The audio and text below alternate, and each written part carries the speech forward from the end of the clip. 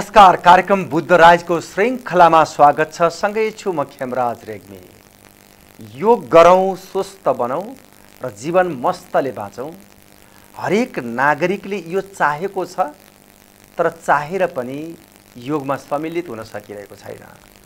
आज योग तथा साधनाको अभावले ध्यानको अभावले कतिपय मानिसहरू अल्पाइमै जीवन समाप्त गरेका उदाहरणहरू हामीले भेट्ने गर्छौँ। र यो जीवनलाई हामी योगमय बनाउन सकिएन साधनामय बनाउन सकिएन ध्यानमय बनाउन सकिएन भने जीवन उत्सवमय तरिकाले बाँच्न सकिँदैन। यसै सन्दर्भमा आज हामी कुराकानी गर्दैछौँ विशेष गरी मुक्तिनाथ योग साधना केन्द्र तथा रिसर्च सेन्टरका संस्थापक अध्यक्ष जो वरिष्ठ योग प्रशिक्षक पनि हुनुहुन्छ हरिशरण पाण्डेसँग। आउनुहोस् यो कार्यक्रममा म उहाँलाई स्वागत गर्न चाहन्छु होला। हार्दिक स्वागत। धन्यवाद? एकदम आराम ठिकठाक चिटिक्क मुहार होइन? तपाईँले लगाएको वस्त्र यो सारा कुरा हेर्दाखेरि साँच्चैको साधक जस्तो तपाईँ देख्नुहुन्छ। यसरी योग साधनामा जोडिने तपाईँलाई रहर कहाँबाट जाग्यो र कसले प्रेरणा जगायो म यहीँबाट सुरुवात गर्छु। धन्यवाद। प्रश्नको लागि साँच्चै नै यो उमेरमा योगमा कसरी लाग्नुभयो कहाँबाट लाग्नुभयो कसरी सुरु गर्नुभयो भन्ने धेरै व्यक्तिहरूको प्रश्न पनि हुन्छ।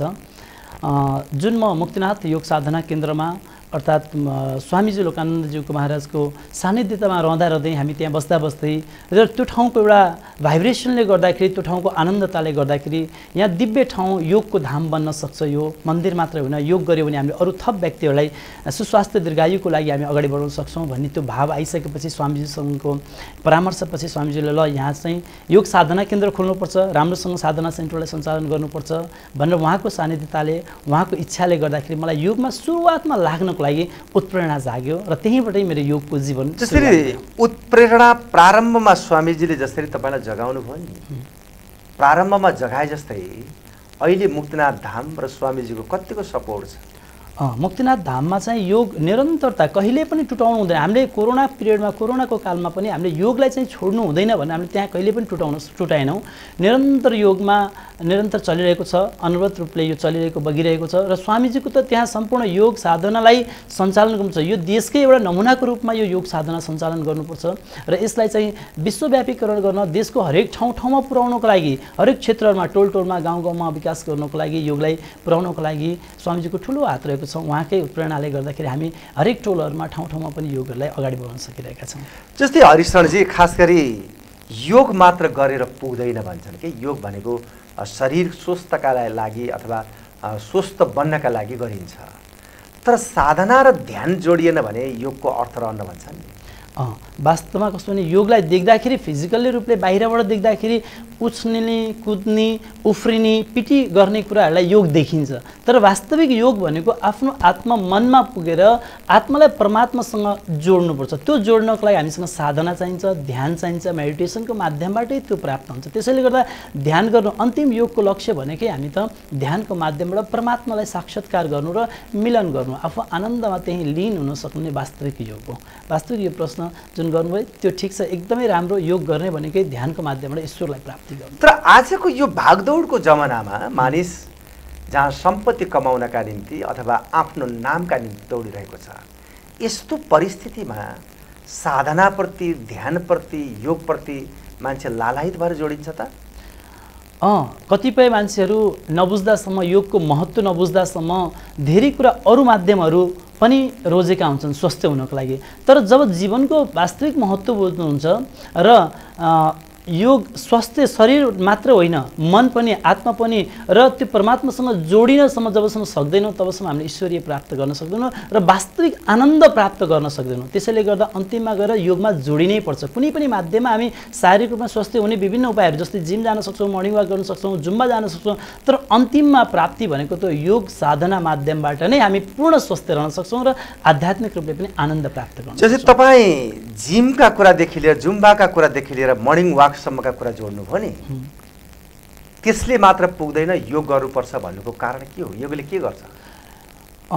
ती कुराहरू फिजिकल्ली फिटनेसको लागि या शरीरलाई राम्रो देखाउनको लागि हेर्दाखेरि बाहिरबाट राम्रो देखाउनको लागि ती कुराहरू जिमहरू जुम्बाहरू मर्निङ वाकहरू कुराहरू र अन्य गेमहरूले खेलकुदको माध्यमबाट पनि हुनसक्छ।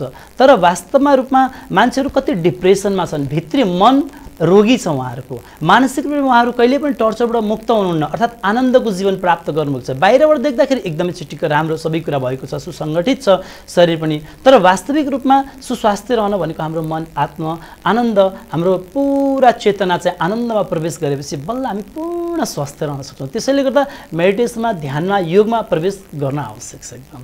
त्यो नहुँदासम्म? पूर्ण रूपले स्वस्थ हुन सकिँदैन। तपाईँ आरम्भ योगमा जोडिएको कति वर्ष भयो खास? मैले म जोडिँदाखेरि अहिलेको समयले भन्दाखेरि आठ वर्ष अगाडि चाहिँ जोडिएँ त्यसरी स्वामीजीसँग बस्दाखेरि योगको एउटा साधनाको मलाई चेतना भयो। स्वामीजीकै माध्यमबाट मैले यो प्राप्त गरेँ। त्यसपछि मलाई त्यसको तत्काल लगत्तै मलाई पतञ्जलि योग समितिसँग जोड्ने काम पनि भयो जोडिएँ। अनि त्यहाँ जोडिसकेपछि मैले हरिद्वारमा गएर स्वामीजी महाराज आचार्य श्री महाराजको सानिध्यतामा र एक महिनासम्म युवाहरूको शिविर लिने अवसर पनि प्राप्त गरेँ।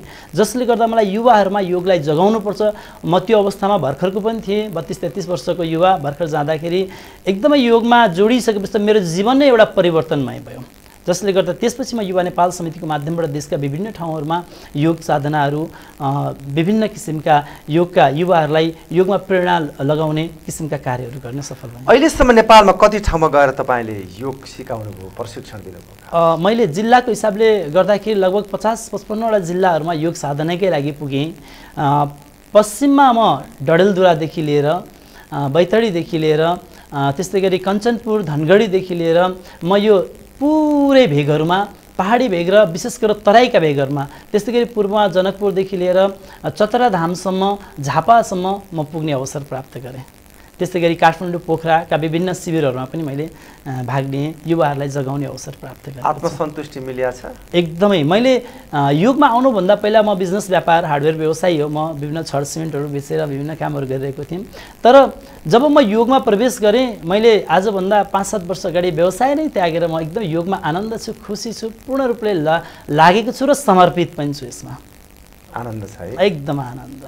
जस्तै तपाईँहरूकै नेतृत्वमा मुक्तिनाथ धाम जहाँ स्वामीजीकै परम सानिध्यमा तपाईँहरू हुनुहुन्छ खास गरी होइन?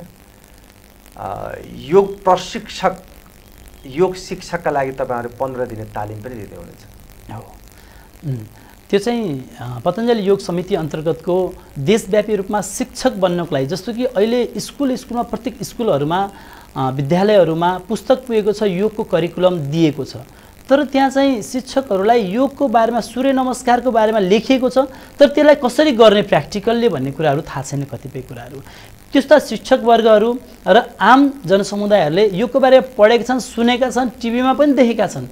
तर त्यसलाई वास्तविक कसरी इम्प्लिमेन्ट गर्ने कसरी त्यसलाई लागू गर्ने कसरी त्यसको गर्ने तरिका हो त्यसको सही विधि कसरी हो भनेर एउटा शिक्षक पूर्ण शिक्षक भइसकेपछि मात्र जानिन्छ। त्यसैले गर्दा यो प्रशिक्षण शिक्षक तालिमले गर्दाखेरि उहाँलाई पूर्ण रूपले प्रशिक्षित गराउँछ र जसले कसरी गर्ने कहाँ गर्ने कुन तरिकाले गर्ने यसको यसको फाइदा के हो र बेफाइदा के हो र कुन तरिकाले गर्दा सही विधि हो यो तरिका जान्नको लागि सिकाउनको लागि सिक्नको लागि यसको लागि हरिद्वारबाटै प्रशिक्षक आएर हामीलाई सिकाउँदै हुनुहुन्छ पन्ध्र दिनको लागि।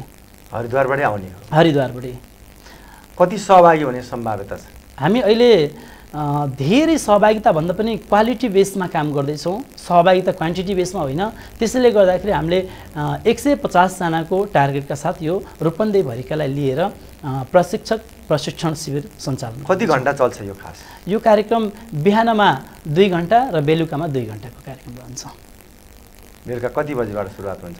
बिहान साढे चार बजेबाट लिएर साढे छ बजेसम्मको यसको कार्यक्रम रहनेछ।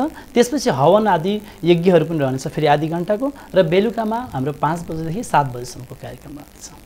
अनिवार्य हुन्छ। अनिवार्य। यो पन्ध्र दिन निरन्तर रूपमा चलिरहन्छ अनुभूत रूपमा के छ ती शिक्षकहरूलाई आवासीय व्यवस्था त्यहीँ हुनेछ कि कसरी गर्नुभएको छ? यसलाई हामीले के गरेका छौँ भने यति बेला टाढाबाट हुने जस्तै अलि मर्चबार लुम्बिनी साइड भैरवातिरबाट आउनेहरूलाई आवासको व्यवस्था गरेका छौँ। र हाम्रो स्थानीय बुटोल सैनामैना तिलोत्तमा यो भेगकालाई चाहिँ हामी बिहान बेलुका जाने आउनेको व्यवस्था आफ्नै हिसाबले जाने आउने व्यवस्था गरेका छौँ। त्यसरी व्यवस्था छ। हजुर। वास्तवमा तपाईँ जसरी यो कार्यमा जोडिराख्नु भएको छ योग साधनाको माध्यमबाट आफ्नो व्यापार व्यवसायलाई किनेर लाएर भए पनि होइन महत्त्वपूर्ण बाटो तपाईँ रोजिराख्नु भएको छ। तपाईँ जुन बाटो रोजिरहँदाखेरि तपाईँले जुन कार्यबाट चाहिँ तपाईँलाई तपाईँ प्रशिक्षण दिइरहँदाखेरि पनि आज मुलुकमा हेर्दाखेरि कैयौँ मानिसहरू निराशाकै कारणले आत्महत्या गरिरहेका छन्। यस्तो विषम परिस्थितिलाई साम्य पार्नका निम्ति अझै के भूमिका खेल्नुपर्छ। यो साँच्चै नै मलाई योगमा प्रेरणा जाग्नुको पछाडि पनि यही कारण हो। हामी जस्ता युवावर्गहरू भर्खरका युवाहरू बालबच्चाहरूले सानैबाट जसको बुवा आमाले घरबाटै योगको शिक्षा अध्यात्मको शिक्षा धर्मको शिक्षा ज्ञानको शिक्षा दिनुहुन्थ्यो भने सायद उहाँ बच्चाहरू बिग्रिनुहुन्थ्यो होला। यो अवस्थामा यो युवा अवस्थामा भर्खरका बच्चाहरूले कुलतमा फँसेको नराम्रा कामहरू गरेको विभिन्न किसिमका त्यस्तो बाटोमा लागेको देख्दाखेरि मलाई आफैलाई पनि विरक्त लाएर मैले यो बाटो चाहिँ मैले यो ठाउँ बाटो रोज्न पाएँ भने योगको माध्यमबाट बच्चाहरूलाई स्कुलका विद्यार्थीहरूलाई र युवावर्गहरूलाई यो लाइनमा सकारात्मक लाइनमा ल्याउन सकिन्छ कि भनेर म आफू पनि त्यही कारणले जोडिएको। त्यसले गर्दाखेरि धेरै देशव्यापी रूपमा हाम्रो युवा नेपाल समितिले विभिन्न ठाउँमा कार्यहरू गरेको छ युवा नेपाल समितिले युवावर्गमै गएर विशेष लक्षित गरेर कार्य गर्छ। स्कुलमा र अनि त्यसै युवावर्गहरू जो हुनुहुन्छ उहाँहरूलाई योगमा कसरी जोड्ने? योगमा जोड्नुको मतलब उहाँहरूलाई एउटा अध्यात्म जीवन र जीवनशैली बाँच्ने जीवनशैली के हो बताउने र उहाँहरूलाई चाहिँ योगको माध्यमबाट आध्यात्मिकसँग जोडेर आफ्नो आत्मालाई परमात्मासँग जोड्ने कार्यसम्म गर्ने र कुलतबाट हटाउने कार्य हामीले गरिरहेका छौँ। जस्तै तपाईँ पतञ्जलीसँग जोडिएर जसरी काम गरिराख्नु भएको छ नि पतञ्जलीले ध्यान साधनाभन्दा बढी योगलाई फोकस गर्छ अँ, योग पहिला हामी कुनै पनि कार्य लक्ष्यमा प्राप्ति गर्नुभन्दा पहिला सुरुवातको बेसिक चरणलाई हामीले पार गर्नुपर्छ। त्यसैको लागि हामीले पहिला जबसम्म शरीरलाई सुसङ्गठित बनाउँदैनौँ स्वस्थ बनाउन सक्दैनौँ तब हामी कुनै पनि सही कार्य गर्न सक्दैनौँ। जब शरीर स्वस्थ छैन भने हामी मनलाई स्वस्थ कसरी गराउन सक्छौँ? हाम्रो आत्मालाई स्वस्थ कसरी गराउन सक्छौँ? त्यसैले गर्दाखेरि हामीले शरीरलाई पहिला स्वस्थ गराउनको लागि हामी योगका विशेष कार्यहरू विशेष आसनहरू गर्छौँ। आसनले गर्दा गर्दै उहाँहरूको जब शरीर बसाइ स्थिरम सुखम आसनम भन्छ। स्थिरता रह्यो भने बल्ल त्यो आसन सही हुन्छ सही आसन भइसकेपछि बल्ल हामी ध्यानमा परिणत हुन सक्छौँ र ध्यानले ईश्वर प्राप्ति हुन्छ। त्यसैले गर्दाखेरि सुरुवात चाहिँ हामीले योगका विशेष अलिक बढी नै हुने गर्छ र त्यसपछि हामी ध्यानमा परिणत गर्न सक्छौँ त्यो शरीरलाई मनलाई आत्मालाई शुद्ध पार्न सक्छौँ। अहिले पछिल्लो समय ध्यानलाई पनि तपाईँहरू प्राथमिकता। एकदम ध्यानलाई प्राथमिकता दिइरहेका छौँ।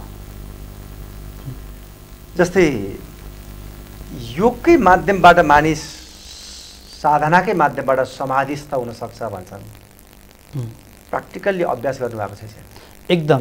प्र्याक्टिकली अभ्यास। हामीले पतञ्जलि योग समितिकै कोर्स अन्तर्गत अष्टाङ्ग योगको जुन छ अष्टाङ्ग योगमा त सुरुमा सुरुवाती चरणदेखि लिएर अन्तिममा त समाधिमै प्रा प्राप्त गर्ने हो नि त। समाधि प्राप्त गरिन्छ। त्यसैले गर्दाखेरि त्यो एक एक एक एक चरण गर्दै गर्दै गर्दै हामी ध्यानको माध्यमबाट बल्ल हामी समाधिमा प्राप्त गर्न सक्छौँ। हामी धेरै समयसम्म योगको साधना गर्दा गर्दा गर्दा हामी एकदमै समाधिसम्म पुरा ध्यानलाई ध्यानमा रहेर शरीरका सम्पूर्ण अङ्गहरूलाई कन्ट्रोल गरेर नियन्त्रणमा राख्न सक्ने अवस्था भइसकेपछि मात्र एउटा सच्चा प्रशिक्षक भएर अगाडि बढ्न सकिँदो रहेछ मैले यो आफैले पनि अनुभव जस्तै हरि। हरिशरणजी अहिलेको परिस्थितिमा तपाईँ गाउँ जानुहुन्छ बस्ती जानुहुन्छ बजारका हरेक कुना काप्चा जानुहुन्छ सर्र हेर्दाखेरि मानवीय अवस्था कस्तो पाउनु भएको छ गाउँ गाउँमा र पहाडमा अलिकति हिमाली भेगहरूमा पनि हामी यो क्रममा हिँड्ने अवसर देख्ने अवसर जाने अवसर र यो योग गराउने अवसर प्राप्त भयो। साँच्चै भन्यो भने गाउँ गाउँमा भित्रभित्र त कतिपय व्यक्तिहरूलाई त योग भनेको के हो र कसरी गरिन्छ भन्ने पनि कुनै तरिका थाहै छैन आइडिया नै छैन उहाँहरूलाई।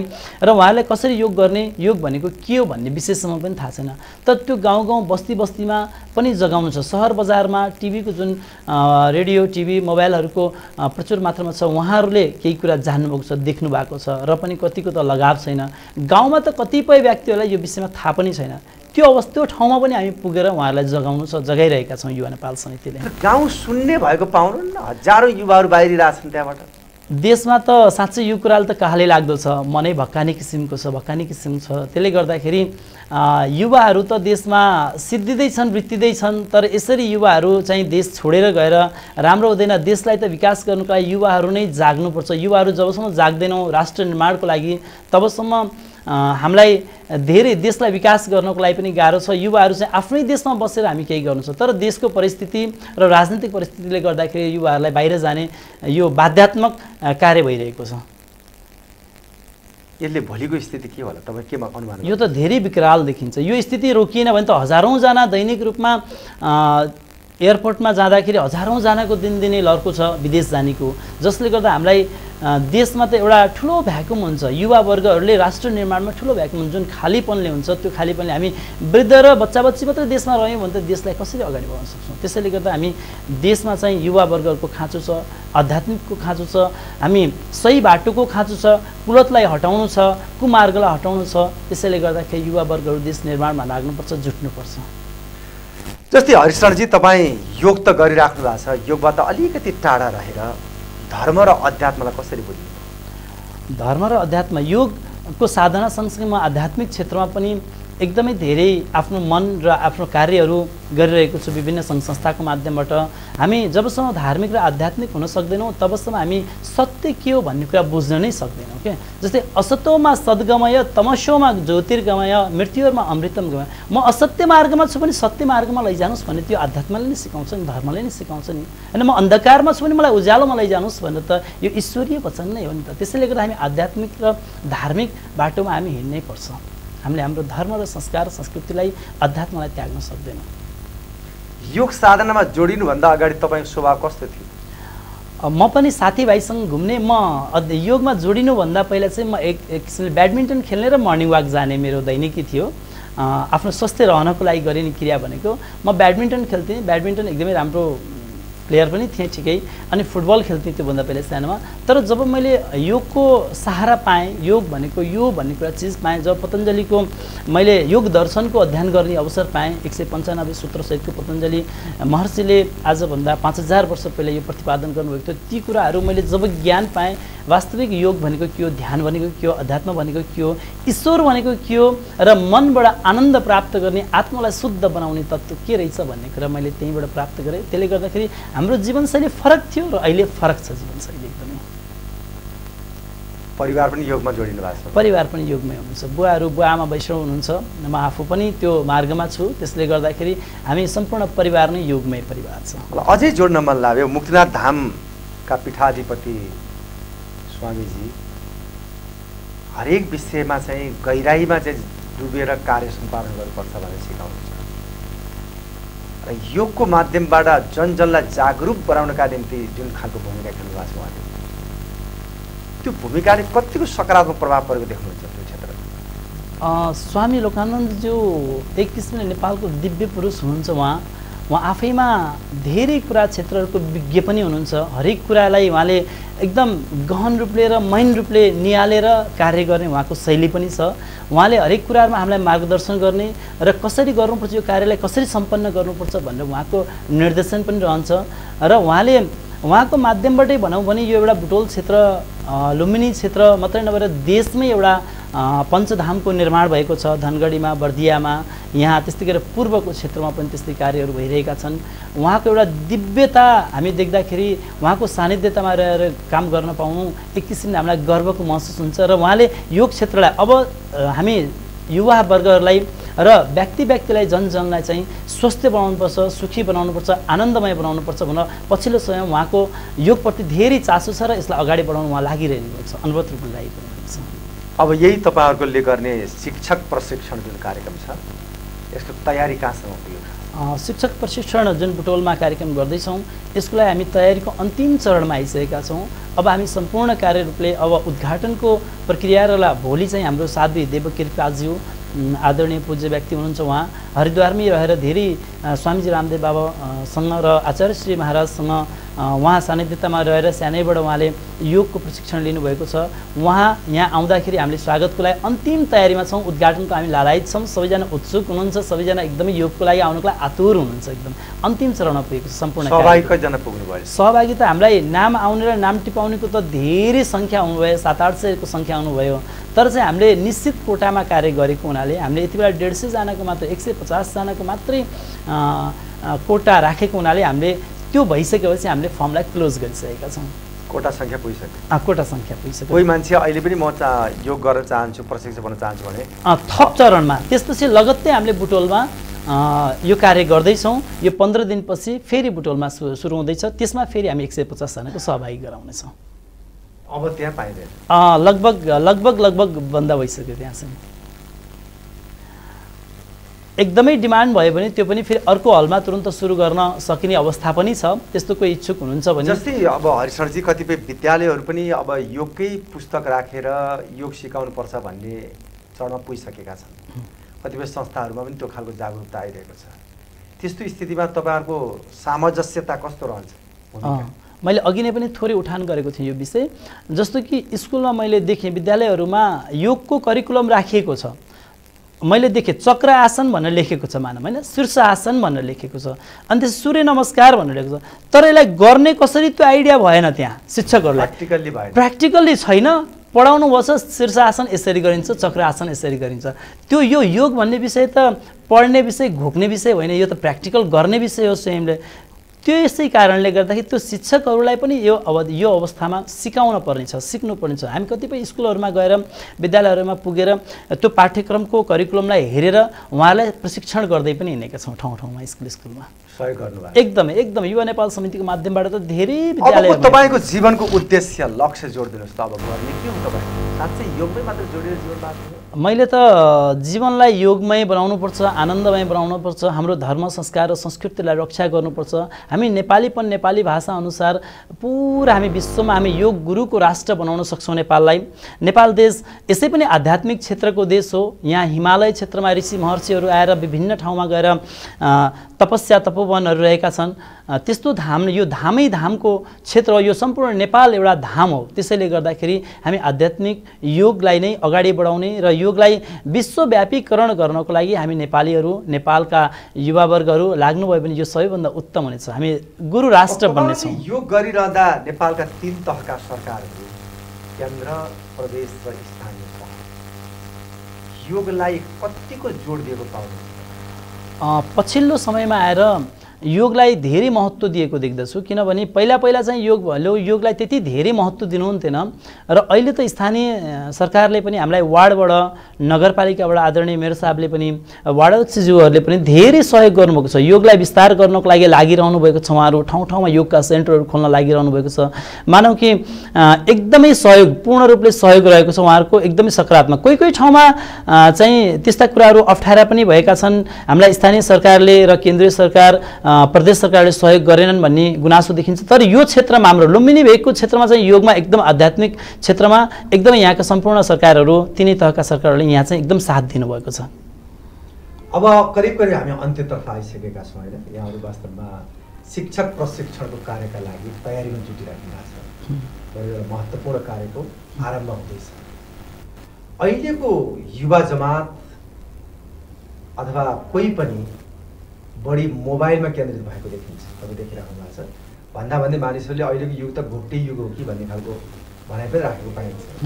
यो परिस्थितिमा बढी मोबाइल हेर्दाखेरि मानसिक रोगी बन्ने र विभिन्न प्रकृतिका रोगले समात्ने खालको कुराहरू उठिरहेको छ समग्र महानुभावलाई टेलिभिजनको माध्यमबाट अन्त्यमा के भन्न चाहन्छु अँ यो समय साँच्चै भन्यो भने बच्चाहरू साना बच्चाहरूदेखि लिएर पाँच वर्षका दुई वर्षका तिन वर्षका बच्चाहरूले मोबाइल जबसम्म पाउँदैनन् खाना पनि खाइदिनुहुन्न। मोबाइल जबसम्म पाउँदैन म होमवर्क पनि गर्दैन उता होमवर्क गरिरहनु भएको छ स्कुलको गृह कार्य गरिरहनु भएको छ उता मोबाइल पनि हेरिरहनु भएको छ। यो डबल कार्यले गर्दाखेरि उहाँहरूको जीवन एकदमै नकारात्मकतिर जान्छ। विभिन्न किसिमका मानसिक रोगीहरू एन्जाइटीका रोगीहरू हुन सक्नुहुन्छ। त्यसैले गर्दाखेरि यो कुरालाई छोडेर आफ्नो बुवा आमाहरूले नै घरका आमा बुवाले प्यारेन्ट्सहरूले नै यो कुरालाई शिक्षा दिनुपर्छ। सानैबाट एउटा पद्मासनमा बस्न सिकाउने ओमको उच्चारण गर्न सिकाउने गायत्री मन्त्र भन्न लगाउने विभिन्न किसिमका बुवा आमाहरूले नै यो अभ्यास गराउनु भयो भने बल्ल हामी त्यो कुरामा सफल हुन्छौँ। र विशेष गरेर सम्पूर्ण बालबालिका युवा वर्गहरूलाई नै यो क्षेत्रबाट हामीले विमुख गरेर योगमा जोड्नु छ सबैलाई। र महत्त्वपूर्ण समय दिनुभयो यहाँलाई म विशेष धन्यवाद दिन चाहन्छु र सँगै जुन कार्यमा तपाईँ क्रियाशील भएर लाग्नु भएको छ यसमा सफलता दिनुहोस् शुभकामना। धन्यवाद। मलाई यो अवसर प्रदान गर्नुहुने आदरणीय व्यक्तित्व खेमराजजी र बुद्ध टेलिभिजन लगायत यो क्षेत्रमा विकासको लागि यसलाई अगाडि बढाउनको लागि मलाई साथ दिनुहुने आदरणीय गुरु स्वामीज्यू लोकानन्दज्यू महाराज। त्यस्तै गरेर पूज्य स्वामीजी महाराज तथा आचार्य श्री महाराज जसले योग क्षेत्रलाई अगाडि बढाउनको लागि मलाई उत्प्रेरणा जुन मलाई एकदमै अगाडि बढाउने अवसर प्रदान गर्नुभयो। त्यस्तै गरी युवा नेपाल समितिका केन्द्रीय अध्यक्ष आदरणीय साध्वी देवी विजयज्यू त्यस्तै गरी यो प्रशिक्षण केन्द्रमा आउँदै हुनुहुने साध्वी देव कृपाज्यू लगायत सम्पूर्ण व्यक्तिहरूप्रति र पतञ्जलि योग समिति युवा नेपाल समितिप्रति म हार्दिक कृतज्ञता जनाउन चाहन्छु। धन्यवाद। ओम। सबैले योग गरौँ। ध्यानी बनौँ ज्ञानी बनौँ योगी बनौँ। ओम। आदरणीय दर्शक महानुभाव आज हामीले कुराकानी गऱ्यौँ विशेष गरी मुक्तिनाथ धाम जहाँ एउटा आध्यात्मिक तीर्थस्थल मात्र होइन योग र साधनाको एउटा केन्द्रबिन्दु पनि हो। विशेष गरी मुक्तिनाथ योग साधना केन्द्र तथा रिसर्च सेन्टरका संस्थापक अध्यक्ष वरिष्ठ प्रशिक्षक हरिशरण पाण्डेसँग हामीले कुराकानी गऱ्यौँ र यो योगले नै जीवनलाई सही बाटोमा लैजान सक्छ योग बिना जीवन वियोग बन्न सक्छ। यही सन्देश प्रभाव भयो। उहाँसँग यो कुराकानीसँगै प्रविधिमा साथ दिने भाइ नरेशलाई धन्यवाद दिँदै यो कार्यक्रमबाट म पनि आगे चाहन्छु। नमस्कार।